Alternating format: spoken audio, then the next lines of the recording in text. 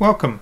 In this video, we're going to look at how to institute a chasing behavior with the enemies. We want the enemies to be able to chase after the player because currently, as the player moves around and does have walled collisions, that the enemies are parked.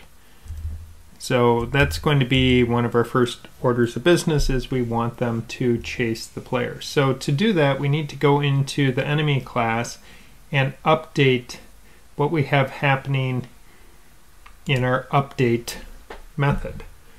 So just going to so this is updating for the visual stuff or actually animation would be better for the animation stuff. Now we need to update the chase behavior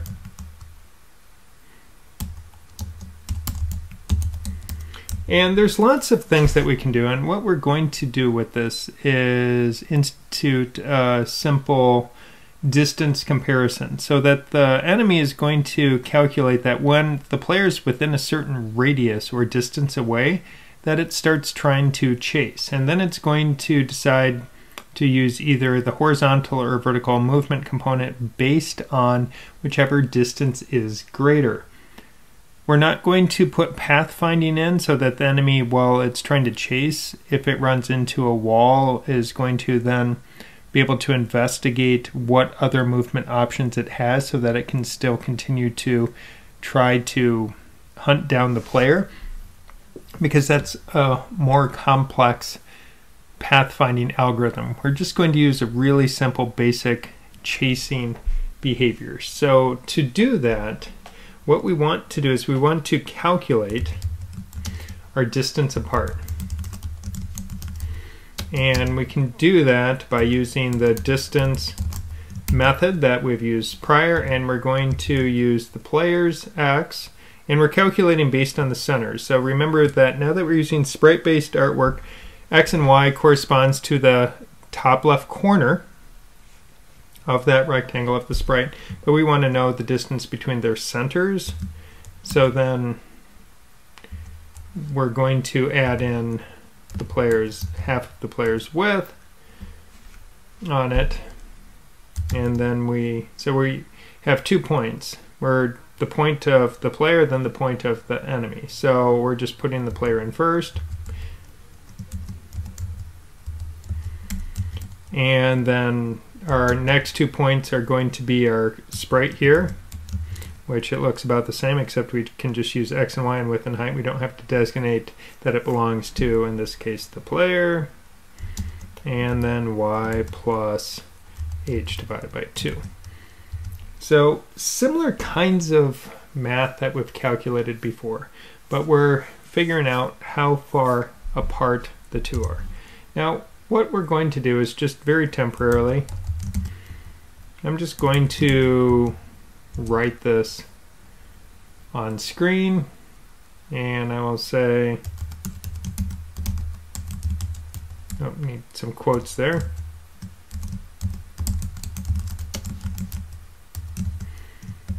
And then we'll, we'll use our variable then we'll just put that at 50 50 now if we run this Currently what we see happening is these numbers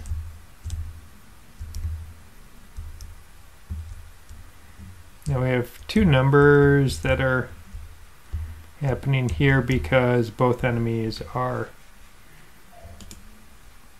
doing that. So let's just change our number of enemies to one. We'll just go with one.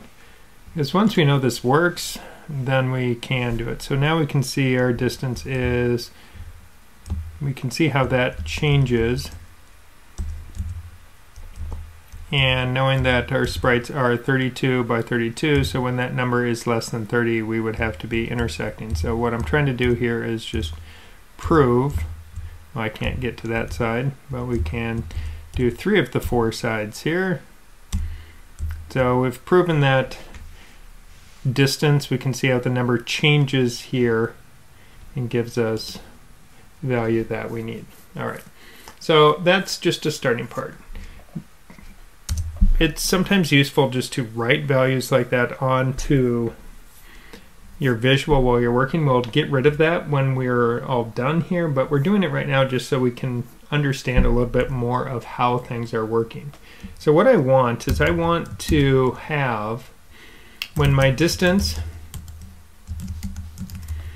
apart is less than 200, at that point, that's when I want to start chasing.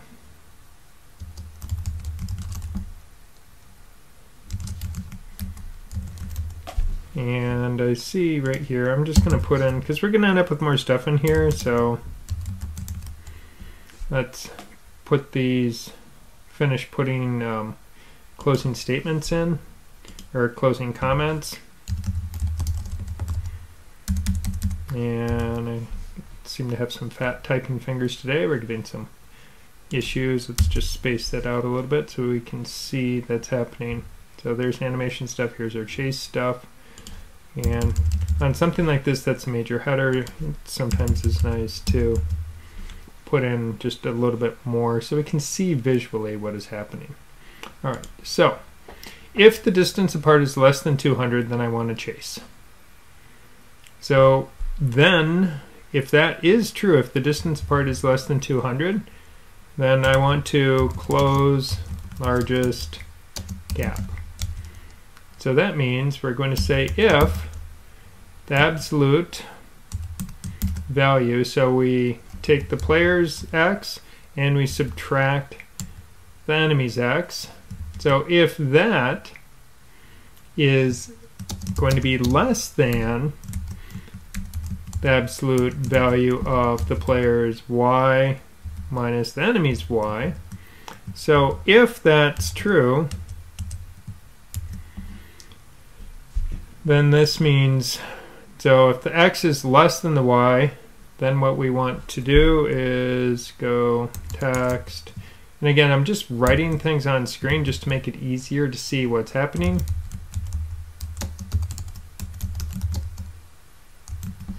So we'll close the vertical gap, and we'll just put that at 250, so it's just next to those values. So so remember that with this if, anything inside there, this whole distance apart if, will only take place when we're within 200 pixels. If not, we, we don't want to do anything. We just want to not be chasing.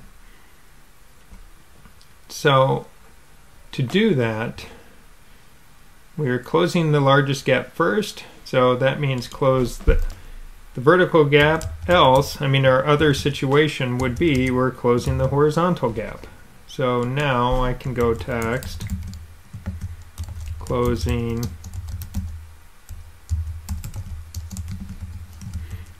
Horizontal gap. Right there.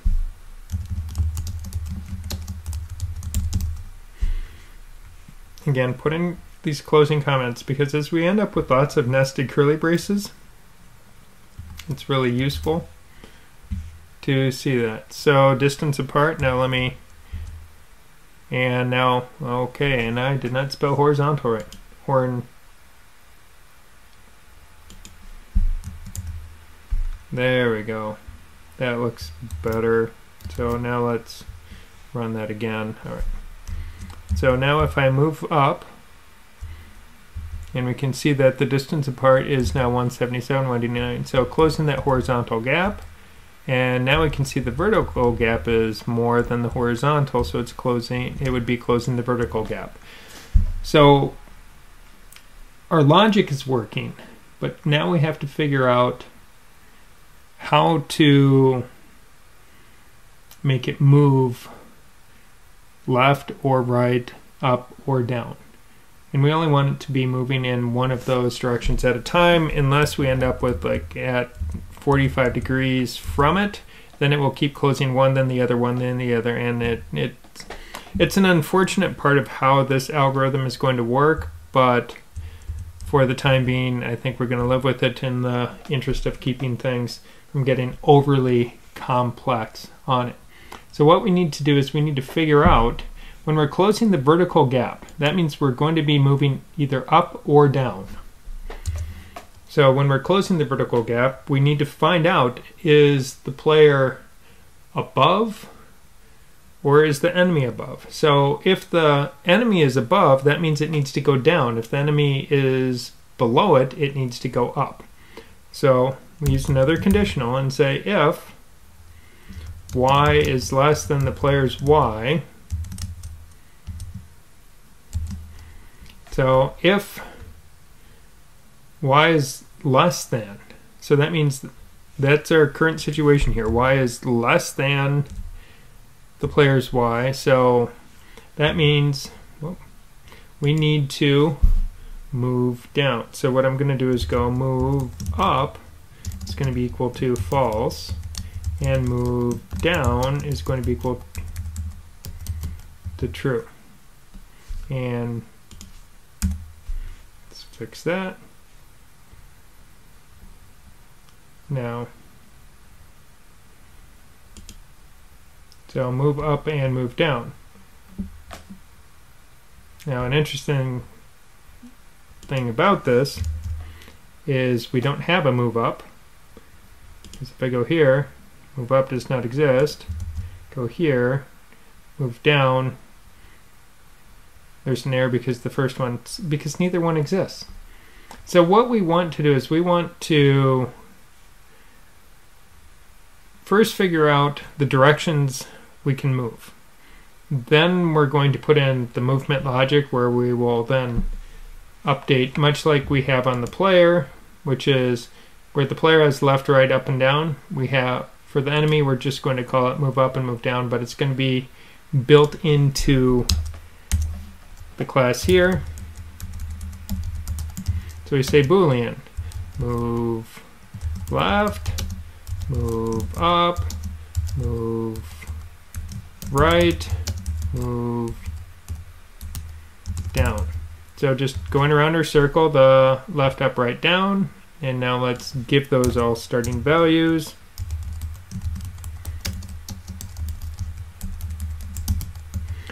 Oh, now they should all start at false.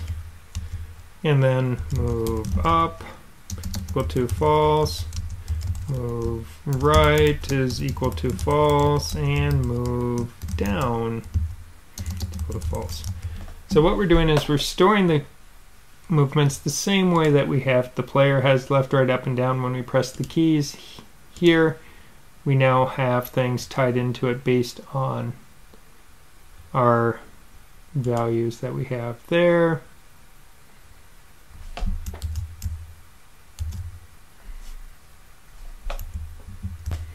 And in my erasing mistypos, I forgot an equal, so move up is false, move down is true, because we want it to move down.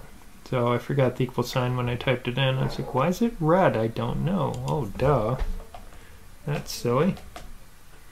So now, if we're not, if we're trying to close the y gap, and if we're not moving down, that means we must be moving up. So let's put that in and say move up.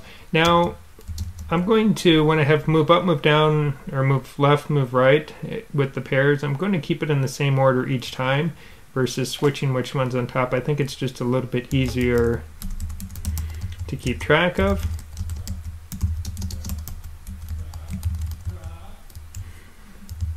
And we'll just clean up the formatting on here.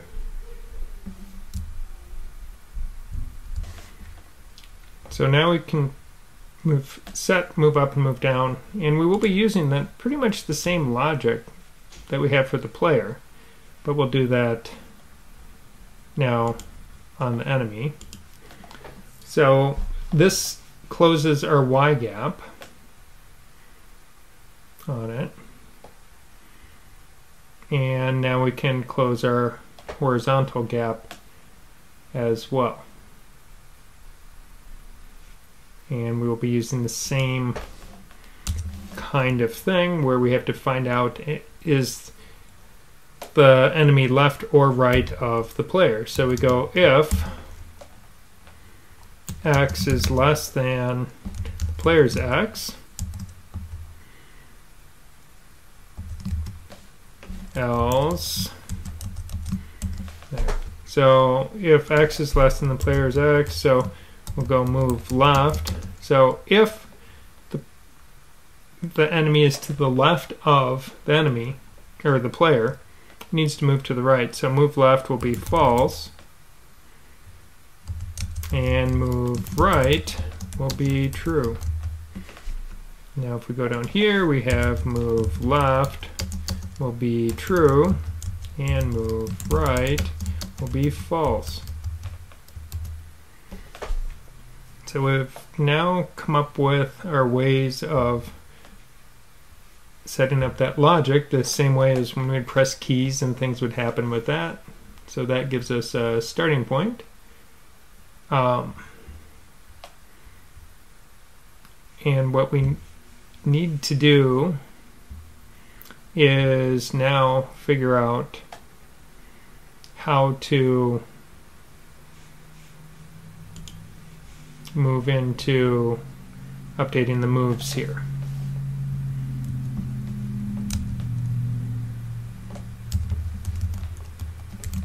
So this is update our position. And because this is a major one, I'll just put a few more items in there just to make it look a little bit cleaner. So if, let's just keep my spacing so it looks pretty. So move left. So if move left is true and move right is false,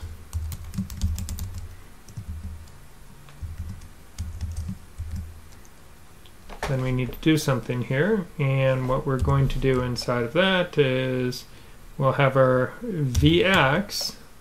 So moving left is true, so it's going to be a negative value. Now, one thing I want to do here is I want to just use a value, a variable for speed. So if I want to change the speed, I don't have to go into each one of my little things and change, you know, Vx equals negative 1 or 2, then Vx equals positive 1 or 2. I want to just be able to have a single value that I'm working with. So I'm just going to add another variable and we'll call it speed. And we'll make it slower than the player because currently the player's speed is 2, so I'm going to make the enemy speed 1. So going back into the enemy here, So Vx, oh, do we not have Vx? We don't have Vx, oh I forgot, you know, we don't have a Vx or Vy yet. Uh, I was thinking we'd already put it in like we did on the player. So we might as well add those in as well. Vx, Vy. And we'll just give those starting values. Vx is equal to 0, Vy is equal to 0. All right, so when you build things incrementally, sometimes you forget to put some of those pieces in that you need. So if we're moving horizontally, then we're not going to be moving vertically. That keeps it a little bit cleaner while we are going. And we need to identify which row that we are working with on it. So the player rows are different than the unicorn rows, and we did look at changing out our row numbers last time when we look at doing sprite animation. So pulling up the character sheet, we can see when I have the ghost, down is going to be our row. So we have down, left, right, up. So we can see as we played with the row here, and then we are offsetting things, so we have to choose which row we are working with. So we have our offset that determines which character we're working with, and then the row. So to go left, that would be then row 1. So we can specify that into it. Now, if move right and not move left. This time our Vx is going to be equal to 0 and our V, no sorry, Vx is not going to be equal to 0, Vx is going to be equal to speed. Vy is still going to be equal to 0. I was thinking ahead to where I wanted to go and now going right. So we have row 0, row 1, row 2. So row will be equal to 2 on it. Now let's move into our vertical movement. So if move up and not move down, then we have this point Vy. Notice we're doing the y first because we're talking about y. So for moving up, we need to use a negative number because that means we're trying to get closer to zero, which is the top of our game screen. So we'll move at a negative speed. Vx will be equal to zero. And looking at our sheet, then that would be row will be equal to three. And continuing on down, we have if move down and not move up. This time our Vy will be equal to our speed because we're trying to move to the bottom of the screen, so it's a bigger number. And our Vx will be equal to 0, of course, and our row will be equal to 0 because it's the first row in the bunch. So that now starts to set those things up on it. And let's now add in x is equal to, not equal to, plus equal Vx, and y will be plus equals Vy. So we're setting, based on move up and move down, move left and move right, we're setting our Vx and our Vy, so now we can update that. So that now sets us up into having something going on. Now let's try and get closer. I get close enough and now you can see it's chasing after me. Kind of hard when it can walk through walls. Oh, hmm. Well, that's a problem. It just kept going. All right, so one of the things that we're going to run into on this is we need to, when things aren't when it's not moving up or down anymore, we need to kill that directional velocity on it.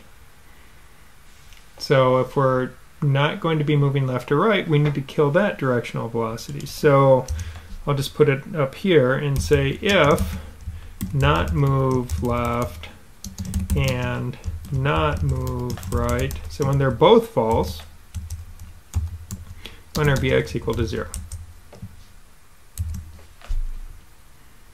And let's repeat that process here for the vertical. So if not move up and not move down, then we have our Vy equal to 0. So that's now killing it. Let's try and run it again. What I'd also like is when it's not chasing, for it to be parked. So we'll take care of that in a moment too. So now it's chasing me. Now go here, okay. And it's trying. And it's not the smartest uh, entity. Now we'll notice that after because the ups come uh, up and down come after left and right those are taking precedent here. So that is something that i mean again this is not a perfect moving algorithm but it is something.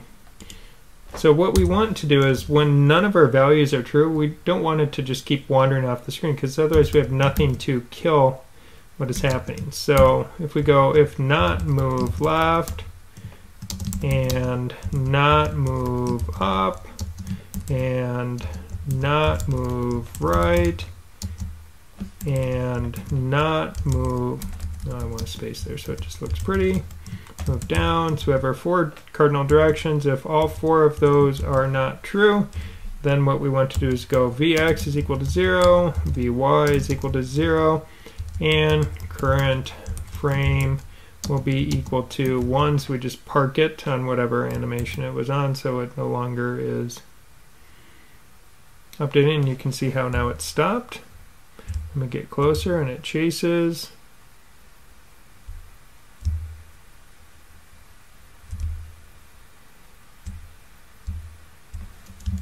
So we have a little bit more of housekeeping we need to do because on our gap closing, if we're not chasing, then we need to set all of our values to false.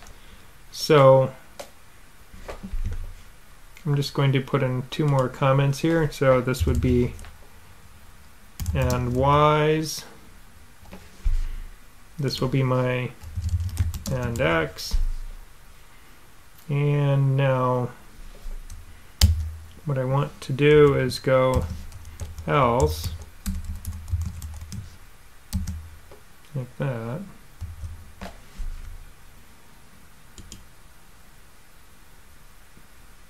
Oh, that's not where I wanted.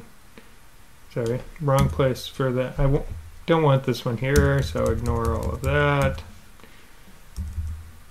So even when you put in your closing comments, when you think you know what you're trying to do, I want it to be under my distance apart here. Because either we're chasing, because remember this whole, all of this right here is the chasing. So we're either chasing, else we're not. So and if we're not chasing,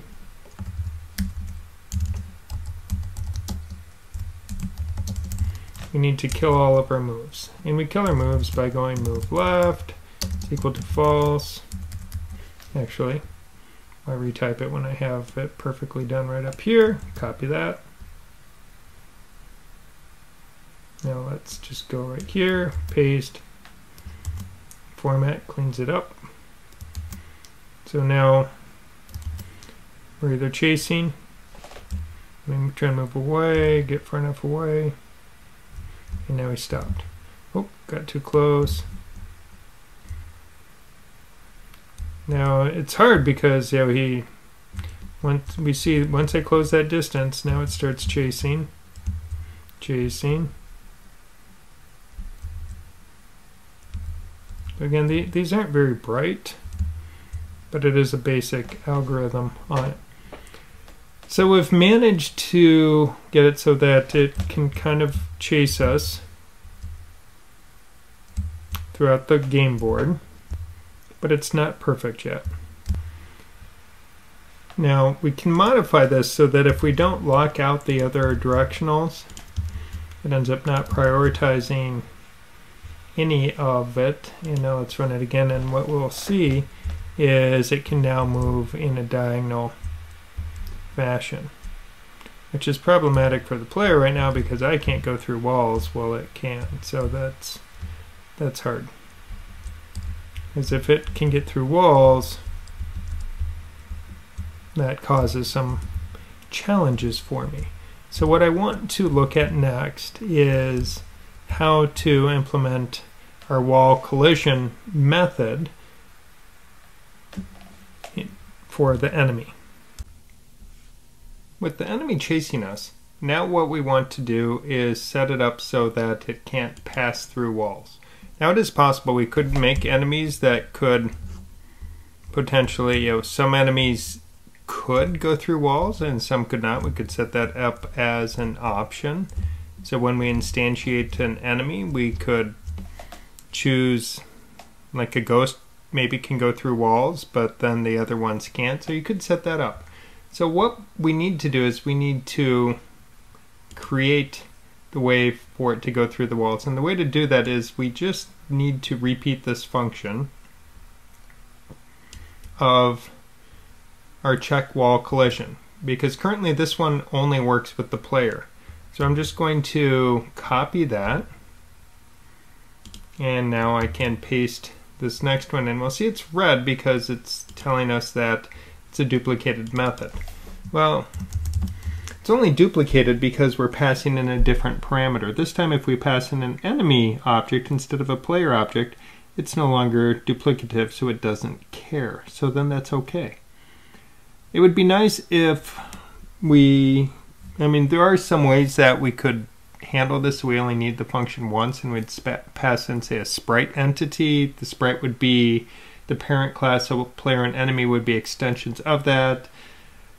So we're using this concept of inheritance. It's adds to our layers of programming right now, just having the duplicate function, even though it's pretty much just doing the same thing. So I'm just going to paste it in like that. And then we need to apply that inside our method here. So inside draw, after the enemy updates, then we're going to say check wall collisions. And instead of like up here where we pass in the player, this time we'll pass in the enemy we're working with. So we say enemies, en, en, enemies, there we go. Like that. And when we do that, it passes in the enemy. So now let's run this and see what happens. And we can see now the ghost is stuck. But if I move here, now that ghost is, oh, okay, it's coming after me now. That's good. You can see the ghost, it's going down. It's going left, chasing after us. So yeah, we've now successfully made it chase us. So really the next phase that we want to add to our program is to work on some type of combat state. So we will transform our project from just a simple setup and draw. We will add in states because then we want to add in a combat state. So we leave our current map and then we go and engage in combat with our enemies. We also, now that we know that it's working, we probably don't need to write the text on the screen or distance apart, so we don't need to put that, so we'll comment that out. And then our closing gaps, we can comment those out as well. Let's just run it, make sure it looks a little bit cleaner. There we go. Wow, that's dangerous when we start right on top of each other. Okay, so the next phase will be combat.